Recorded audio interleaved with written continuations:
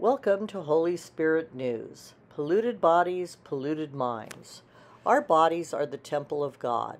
When we do anything to corrupt the flesh, we are harming the living God as well. Each sin that impacts the body, fornication, drugs, drinking, have an impact on our soul. It brings us further away from God.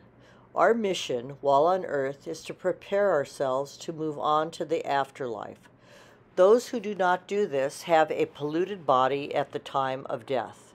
They are unable to enter into my heavenly kingdom while in this state of disrepair. It is important, if not paramount, to re- repent of all sins, then to stay away from these sins. It is not impossible, it is a choice.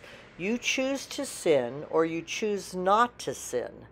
This is the free will you were given. I can warn you, I can have others warn you, but ultimately your decision is your choice for heaven or hell. I am a patient God who has given many warnings that many have not heeded. It is now time to re examine the choices you have made and alter your course if need be. I love all my children and do not want one to perish.